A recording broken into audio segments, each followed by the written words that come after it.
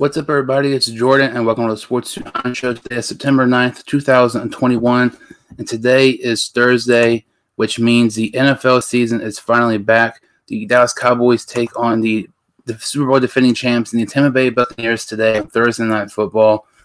It is crazy to think that the NFL season, regular season, is already back. This seems like this was the fastest off season ever. So this video, I'm going to be talking about, you know, my picks for each game and some uh, bold predictions I have in some of these games as well. So let's go ahead and get started here, like with that matchup I mentioned, the Dallas Cowboys taking on the Tampa Bay Buccaneers on Thursday Night Football.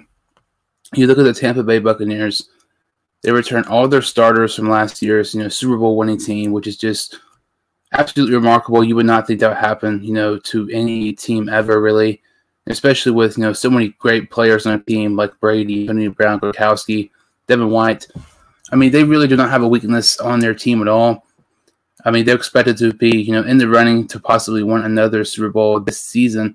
And then you look at the Dallas Cowboys, who really you know last year they were not really good. You know, when Prescott got injured, he was throwing he was throwing for like 400 yards a game and uh, tons of yards because they were losing, and their defense was horrendous. You know, start the season off there defense was historically bad, and it got a little bit better as the season went on. You know, obviously Prescott's coming off a season-ending injury, and the defense really had some nice acquisitions in the offseason. You know, they got Micah Parsons, Jabril Cox, Keanu Neal, pairing him with their new defense coordinator, uh, with uh, Dan Quinn, who was the you know spent time with Keanu Neal in Atlanta. So this is an interesting matchup. Um, and the main issue to me is Dallas and Dak Prescott, how he's going to perform. This is his first game and getting close to be a year. You know, some people do not want him playing week one, which to me, I, I kind of understand why, because you don't want to, you know, rush anything. You don't want to take a chance of getting hurt again. But I, I, don't think Prescott's going to play great in this game. I feel like Prescott, uh, it's going to take a couple weeks for him to kind of see his normal self again you know, especially when you're playing a great team like the Buccaneers, you, you should not expect them to have a great game. I'm going to take the Buccaneers in this game here to start off the uh, regular season on Thursday Night Football. Next matchup here is the Eagles against the Falcons.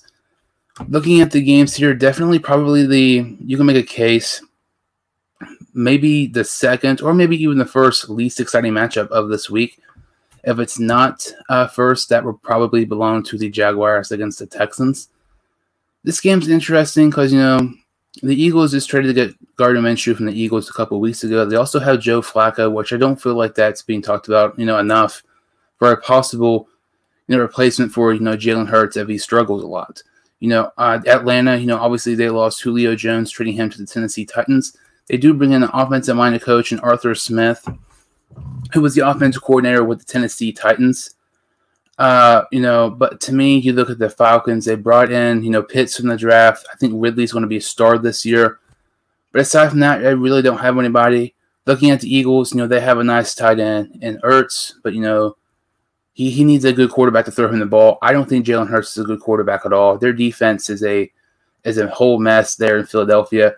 Their offensive line was extremely bad, giving up 65 sacks last season. Uh, this would be a slugfest to me. I, I, don't think this would be really a good game at all. Expect it to be, you know, a, a really low scoring game because I don't feel like, you know, neither one of the teams are going to be play great.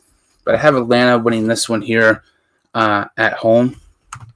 As we continue here, Pittsburgh against Buffalo. Uh, this is an interesting game. You look at the Steelers defense. Obviously, you know, regardless of the Steelers are really good or really bad, they always have a fantastic – uh, defense and their offense. To me, that's the main question mark for Pittsburgh this season.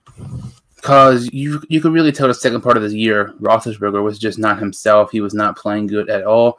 They were relying too much on the passing game.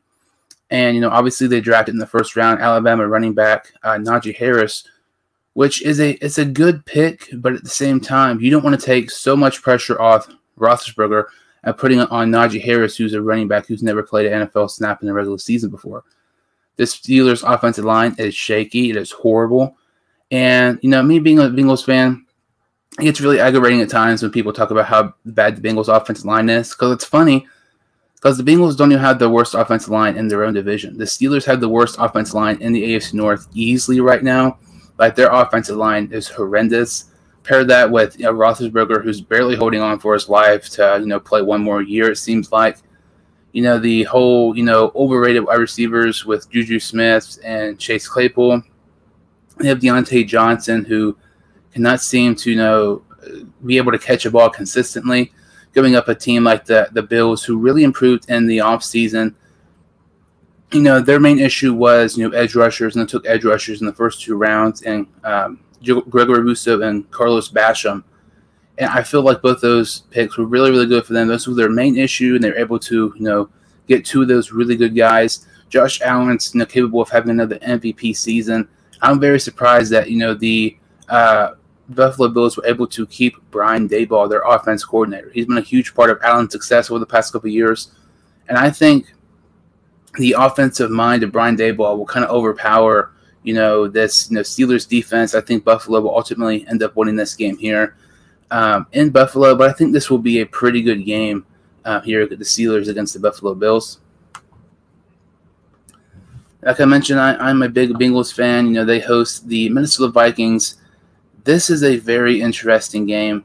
Um, I know lots of Bengals fans. I would say 80% think the Bengals are going to win, at least 80%, which to me is just really laughable uh, looking at this game, the Vikings, I have said this on numerous videos, are arguably the most underrated team heading into the season. Dalvin Cook averaged 137 total yards last season. Justin Jefferson was historically great. Adam Thielen had 14 receiving touchdowns. And Kirk Cousins was really good, had one of the best seasons of his career. You look at the Bengals defense, it's pretty much average. It's not great, it's not horrible, but their run defense last year was not good. And like I mentioned, Dalvin Cook's a one of the better running backs in the league, averaged nearly 140 total yards. That's going to be an issue for Cincinnati. And I mean, also something else to really keep in mind is with the Cincinnati Bengals defense, Trae Waynes will not be playing this game, and cornerback Eli Apple will have to be uh, going up against Justin Jefferson, which that is a worst case nightmare for the Cincinnati Bengals. Um, I honestly think that has a big factor on this game, who will win and the uh, overall outcome. Then you look at the Bengals, and I know lots of people talk about this offensive line. It is not nearly as bad as people think. It's it's not really great by any means. I think it's about average, which I think we the Bengals fans should be content with having an average offensive line and not allow a sack with their first string offensive lineman in the preseason. That looks really good so far. Really interested to see how Joe Burrow comes back. Um, you know, some people don't want him playing in week one, which I also kind of understand. You know, talking about you know Prescott as well. But uh, there's two factors to me. One, I think Burrow will play good, but I think it will take a couple of weeks to him to kind of get back to his normal self. Kind of like I mentioned with Dak Prescott going against uh, the Tampa Bay Buccaneers. And two, uh, with the Eli Apple on Justin Jefferson. Like, that is going to be very, very bad. And part of that is why I have the Minnesota Vikings ending up beating the Bengals I actually believe Justin Jefferson will have probably about 125 to 150 receiving yards. He's going to have at least 100. Uh, that's that's going to kill the Bengals in this game, and the Vikings got a, a nice road win here against the Cincinnati Bengals. Next up, this is one of the more lopsided games, in my opinion, looking on this week one schedule. The San Francisco 49ers taking on the Detroit Lions. Start with the Lions first, because obviously they're the, the worst of the two teams they have a nice offensive line. You can make a case they have one of the best lines in the league. You know, they bring in Jared Goff from the you know Matthew Stafford trade. You have they have D'Andre Swift, who I think is going to be a star running back this season. I think he's going to be really really good. And then you look at their defense; they really don't have anybody you know that really stands out. They have Jeffrey Okudah, but he's not been you know great so far. Uh, but then you look at San Francisco. I mean, San Francisco was, you know, playoff contenders the majority of the year last year, despite most of their players being on the IR, like Garoppolo and so many other players. They have two really good uh, young receivers, and Deebo Samuel and Brandon Aiyuk. I think both of those guys are going to have great seasons. Uh, you know, Jimmy Garoppolo will be starting here week one, uh, not Trey Lance. I know some people thought Lance might play week one, considering how good he played in the preseason regardless if it's Trey Lance or Jimmy Garoppolo, I see the 49ers winning this one easily here uh, in Detroit against the Lions. Arizona Cardinals against the Tennessee Titans. And to me, this is one of my upset picks here. I have the Cardinals taking the win over the Tennessee Titans.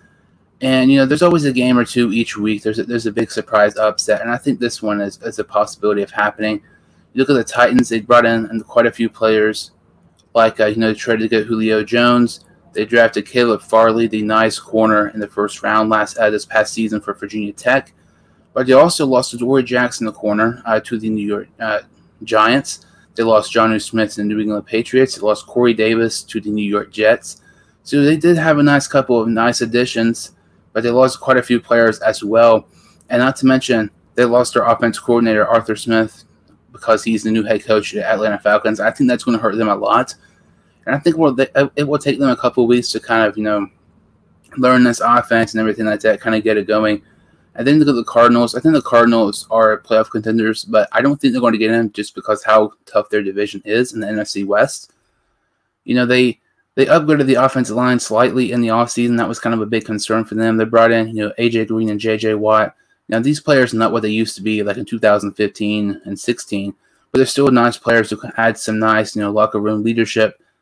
And you can maybe step up at times when you need them to. I, I just think the Arizona Cardinals here will have the upset win against the Tennessee Titans. A very impressive win by Arizona, uh, getting a win here in Tennessee. The Seattle Seahawks going up against the Indianapolis Colts. Uh, Carson Wentz is expected to play in this game, and I have the Colts winning this game here. They have a great offensive line. They have the best offensive line in the NFL and Quenton Nelson. They have one of the best linebackers in the league and Darius Leonard. They have outstanding defense. Jonathan Taylor is going to be really good this year. I think Michael Pittman Jr. is one of the most underrated receivers going into this year. I think he's going to have a fantastic year, career season. Wouldn't be surprised by the end of the year he's actually a Pro Bowl uh, type of receiver. And you also have Carson Wentz, who's you know coming back to a familiar system. You know, with Frank Reich as their head coach. You know, Frank Reich was the offense coordinator with the Philadelphia Eagles during the year. Carson Wentz was an MVP candidate. My main issue is just if the Colts can, you know, if can be consistent with, you know, uh, Carson Wentz. Carson Wentz, you know, he has to stay healthy. If he can stay healthy, I think he can be great. Uh, but that that's kind of the main concern this season. If Wentz can stay healthy, I honestly think this Colts team is a dark horse to represent the AFC in the Super Bowl. And then going to the, you know, the Seahawks here. You know, the Seahawks, I think they're a little bit overrated. You know, they really ended the second half of the season on a bad note. Russell Wilson was playing horrible. Their defense was playing great. They got humiliated and just embarrassed uh, to the Rams in the playoffs by quarterbacks who never started an NFL game in his career. Um, this is really you don't know what type of Seahawks team you're going to see in this game, but regardless, I still think the Colts will get a nice quality win here to start off the Carson Wentz era here in Indianapolis. As we continue here, the Chargers at the Washington football team this game, the Chargers are going to win this game. I know lots of people are on the uh, Washington hype train, which is just really stupid in my opinion. It makes look, it makes not much sense in my opinion. You look at their defense; it's phenomenal, but you also have to look at Ryan Fitzpatrick. His career win percentage is forty percent. That is horrible. And you're playing a great team in the LA Chargers. I think are one of the most underrated teams in the league. They ended the year on a four game winning streak last season. Herbert was the best rookie quarterback we've ever seen. Their offensive line at times was worse than the Cincinnati Bengals. And that says a lot, you know, coming from a Bengals fan. You know, they bring in, you know, Rashawn Slater, who's the best offensive lineman in the draft. Corey Linsley, who's the best center in the NFL, winning the best offensive lineman in the league last season. Um, I, I, just don't see Ryan Fitzpatrick, you know, playing great for Washington. You know, he played really, really bad um, in the off uh, in the preseason with Washington. So uh, I think it might take a couple weeks for Washington to kind of start playing good with Fitzpatrick. You don't know what type of um, performance you want to see from Fitz, Fitzpatrick. It might be a 400 yard game with a couple of touchdowns, or a 100 yard game with four interceptions. You have no idea. He's one of the most inconsistent quarterbacks in NFL history. But because of that, I'm going to take Herbert in the Chargers here and a nice upset win in Washington to start off the year right for them. As we continue here, in my opinion, one of the most intriguing matchups in week one, the New York Jets taking on the Carolina Panthers. Sam Darnold's revenge game against the New York Jets. This is interesting because I think the Panthers are a dark horse team to rep- uh, to beat in the playoffs this season. And I think the Jets, you know, them having Zach Wilson and bringing in Robert Saleh as a defense coordinator was was a great job. I really feel like you know trading Darnold to the Panthers and selecting Wilson second overall was a best uh, case scenario for both teams and both players. You know, Darnold really had no weapons and no offensive line during his time with the Jets, but um, you know Zach Wilson already has a better roster than Darnold's ever had with his time with the Jets as well. Uh, Darnold, you know, he has a great supporting cast in Carolina with Christian McCaffrey, the best running back in the league, Terrace Marshall Jr., a nice rookie receiver from LSU. DJ Moore, the most underrated receiver in the NFL. Robbie Anderson, who he's played with in the Jets. An offensive genius as his offense coordinator, and Joe Brady. And, you know, with the, uh, you know, news a couple weeks ago of Carl Lawson, the edge for the Jets, you know, being out for the year. Uh, that's going to kill them in this game. I feel like a Lawson would have played. I think I might would have had the Jets uh, winning this game. I'm going to have the Panthers winning this one here. Darnold gets his revenge against New York Jets, but I think this one will be a really close game. But ultimately, I think Carolina will get the victory here. Jacksonville at Houston, the most, I would, yeah, probably the most boring game of this, you know, week uh, in Week One. If the Houston Texans have a chance of winning a game this season, it's going to be against the Jacksonville Jaguars. And my record prediction, I had the Houston Texans go 0 17. I'm going to stand by that because I really think it's a possibility. They won four games with Deshaun Watson last year, who's one of the best quarterbacks in the league. Just four games. Imagine how many they're not going to win with Tyrod Taylor, who is average at best, which a much worse supporting cast than uh, Deshaun Watson had last season. Uh, it's really interesting. You know, you look at the Houston Texans, they are a dumpster fire right now. And then you look at the team they're playing and the Jacksonville Jaguars, Trevor Lawrence's first NFL game really interesting to see how he performs, you know, with a nice young offense, and with Urban Meyer, his first game as head coach as well. Um, I, I, still think Jacksonville is going to get a victory here in Houston. I just do not see the Texans winning this game here at all. Um, in Houston, I think this would be definitely one of the worst games in the week, in my opinion. And one of the best games of the week is Cleveland at the Kansas City Chiefs. This has potential to be a game of the year candidate. Uh, you know, the Chiefs really improved their offense line this past season, trading to get Orlando Brown. They drafted Creed Humphrey from Oklahoma. And they also signed, you know, uh, amazing guard from New England Patriots, Joe Thuney, as well. The Browns somehow have a better roster than last season, which is just absolutely insane. Uh, this is going to be a great game. My main issue, and that really determines the outcome for this, is Baker Mayfield. You know, looking at the Browns roster, as crazy as it sounds, their worst position group on their team is probably quarterback, and that really says something because Mayfield's not a bad quarterback. He just needs to really, you know, be better. You look at this Browns team; they have so much talent. Where Mayfield just needs to play average, and this team's really good. They need to stop giving uh, Mayfield, you know, excuses and everything like that. Mayfield needs to start elevating this team, which I think he is capable of this season. But I think it might take a couple weeks for this Browns team to kind of get going and everything. I feel like this Chiefs team is going to start off really, really good with this new improved offensive line.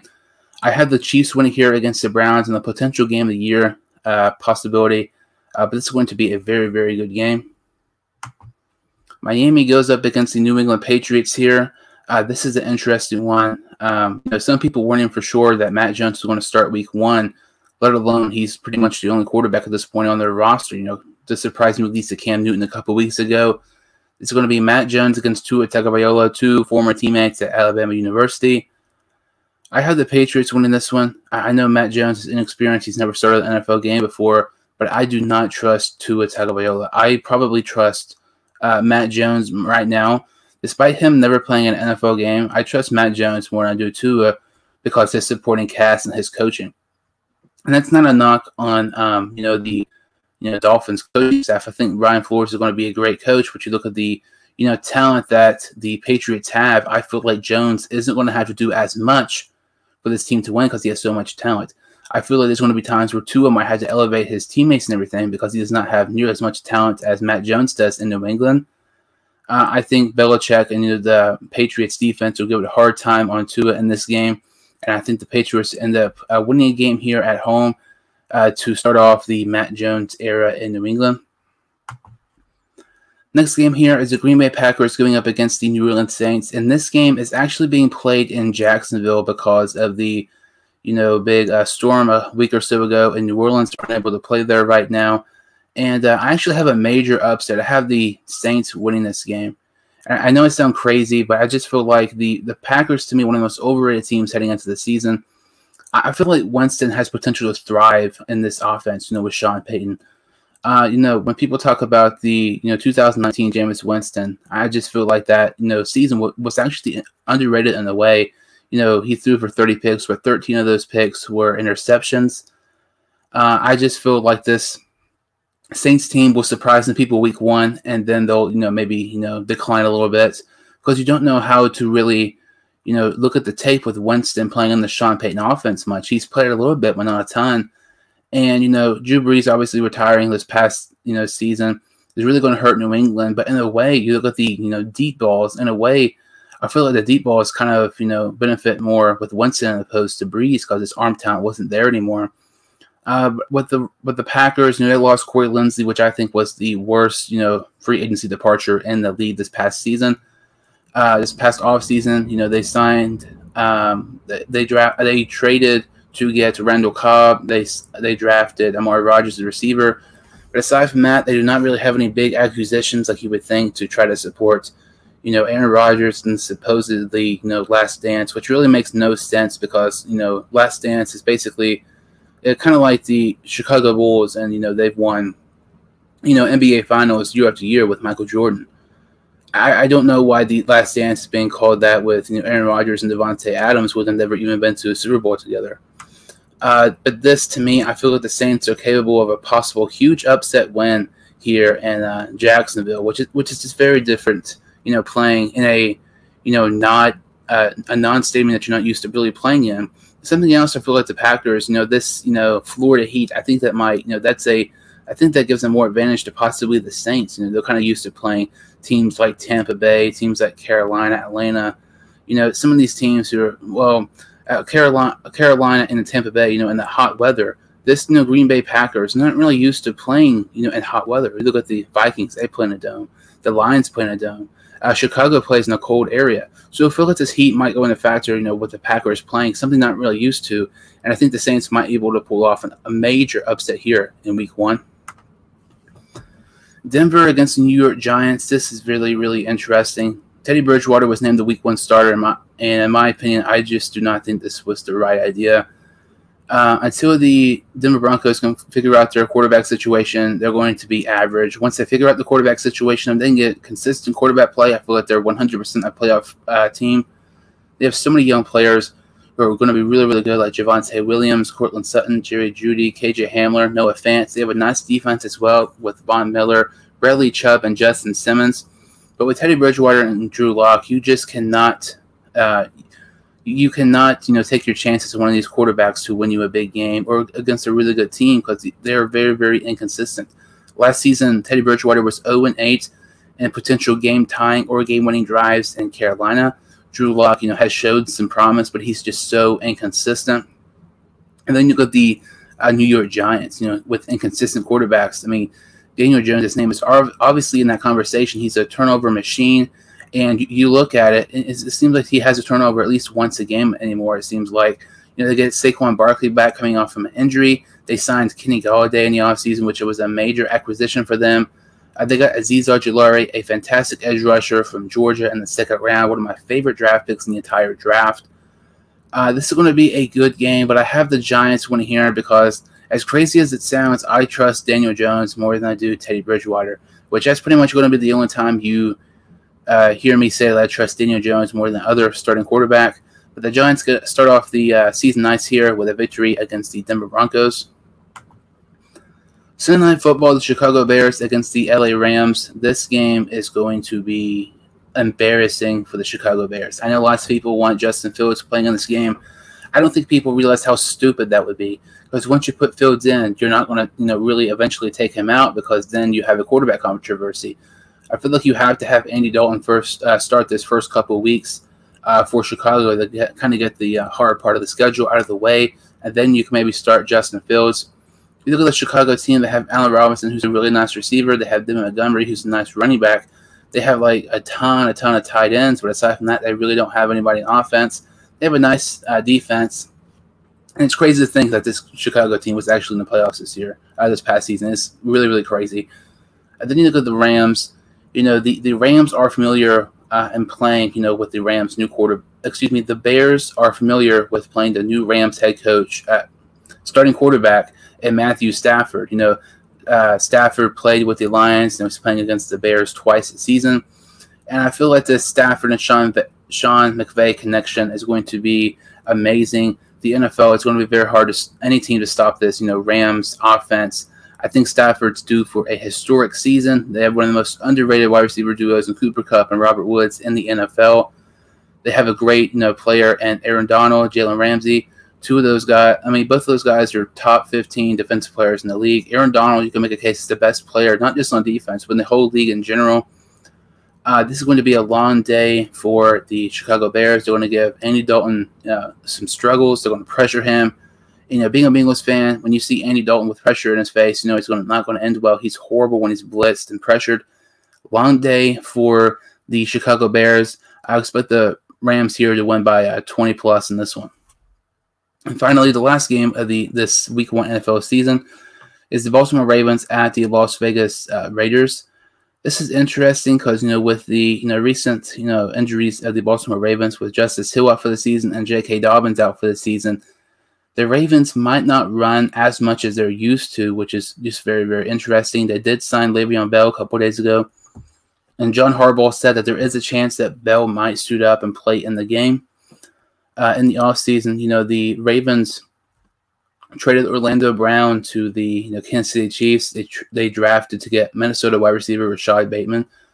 So offensive line, you know, they kind of took a slight hit. It did sign Kevin Zeitler to a couple uh, three year contract, I believe, a nice guard.